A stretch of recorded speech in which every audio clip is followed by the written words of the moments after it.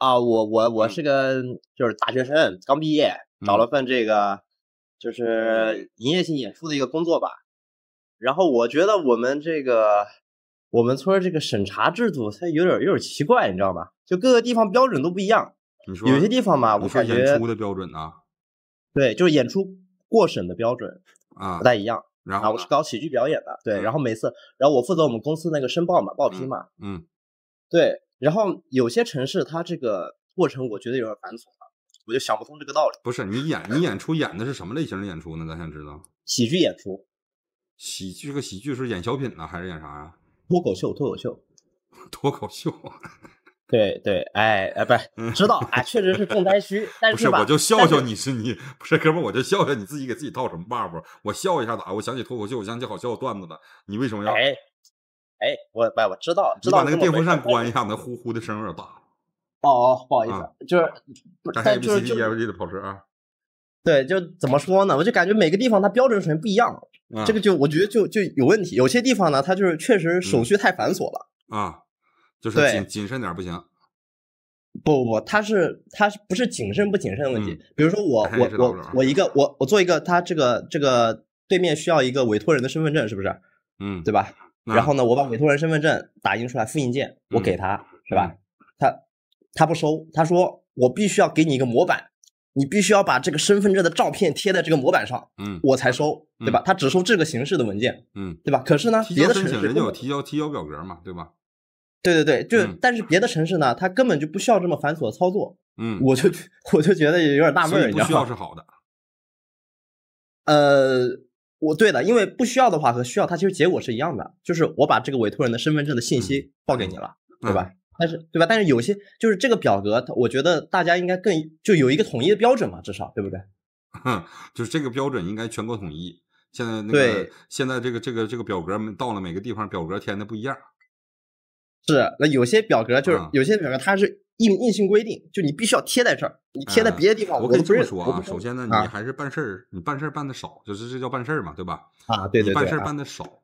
我告诉你啊，常规经验来讲，针对各个地方标准不一样呢，办事儿应该怎么办啊？呃，默认选最高规格的。什么叫最高啊规格？就是你全你全国全国表演下来，你认为哪个省份或哪个城市是最难的，要求最多，填资料最多的，啊默认以这个以这个规格为基准，啊到拿着这个规格的基准呢，就是这这这一套文件到别的上面去提交。哦，对对对，明白吧？哎，这个我这个可以，我可以这么告诉你，这么你这种办事儿就会容易很多，因为啥呢？你在人家眼里面可能有很多锦上添花嗯，啊，甚至有一些东西可能没那么必要，可能有很多画蛇添足，但哎，这都不是毛病，哥们儿，这都不是毛病。可可可，我啊觉得，呃，稍微嗯提一嘴，我觉得还是有那么一点点形式主义了那不是，那不是，我可以这么告诉你，哥们儿，啊。这个呃脱口秀出事儿的啊很多吧？是是是，对吧？聊的，甚至我说说白了，严格来说，现在外面厂子就是在外面厂子里面天天说的东西，不，你要认真去推销推销的话，可不见得没毛病。嗯说白了，也也没有那么也没有那么完全合规，有很多擦边的东西。因为啥呢？因为每一个脱口秀演员啊，嗯我们叫演员，不叫讲师。原因是啥？因为你是在演，每一个演员所关心的点，他所呈现幽默的方式是不一样，这个你应该清楚吧？对吧？我们往、啊我们往早了说，立波，嗯哼，对不对？你看他那个叫不叫脱口秀？他也叫脱口秀。你看他说那个东西适合吗他说那个东西？适合吗？啊，呃，我您您说的这个是文稿方面的，我说啊这些可能啊就是一些不不不呃举办方啊，对我然后包括我再告诉你，啊之所以这个东西是个因果关系啊，这是个因果关系，是因为前面有种种出事儿的，所以后面才会有有种种繁琐的手续。否则的话，你按普通演出，你说今天来了以后啊，我要唱首歌，他要表演个折跟头就好了，就没这么多事儿了。是因为有出事儿的在。所以后面才会严，所以每个省份才会要求不一样。为啥？因为以前有搁这省份就出过事儿，所以他现在得更严，合理吧？啊所以这个水这个水平参差不齐，不是很合理的吗？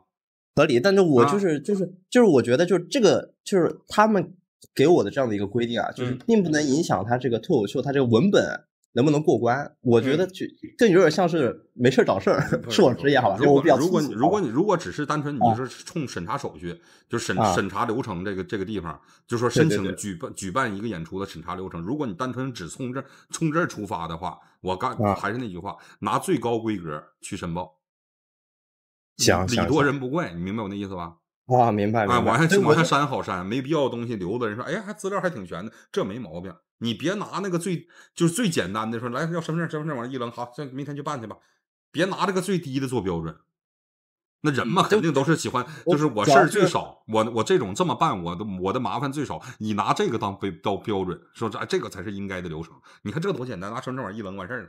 人家都帮你办完了，明天回头说不行，你得把这表填上。哎呀，真是费事，整这么多东西。你这个制定标准，什么是合理，什么是不合理，你你没制定懂。那因为前面有那么多雷区出现问题的这些人，所以谨慎是应该的，不谨慎反而不是常态，对吧？那你现在拿嗯不是常态的东西，认为说，你看这东西才是简单，才是应该的，然后所以谨慎的变成了非常态。那哥们儿，问题在你身上，那就不在手续身上了，明白明白明白。没错吧？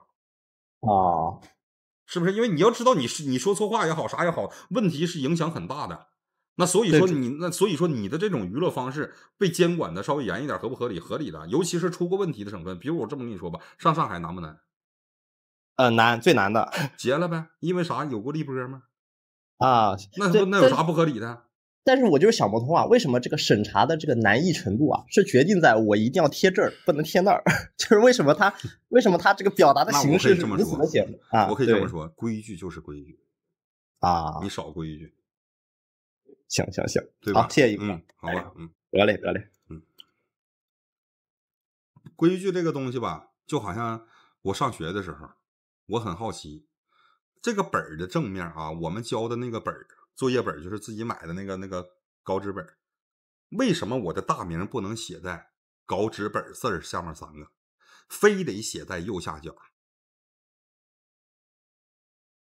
对吧？为什么非写右下角？我可以这么说，如果你没这个写右下角的规矩，写背面的都有，你信吗？对吧？你你你没说，你说是本儿上只要有名就行，写右下角的也有，为啥？彰显自己标新立异，彰显自己跟别人与众不同。你你你虽说你是那个正常的，他总得有不正常，所以规矩制规矩制定出来是治什么呢？是治那些愿意走不正常的人路。所以说你也会有一条道，对你来讲问题不大，但对于那个本来想把名写在背面的人，对他来讲就起到了规范作用，所以他叫规矩，是统一标准，啊，就这么简单。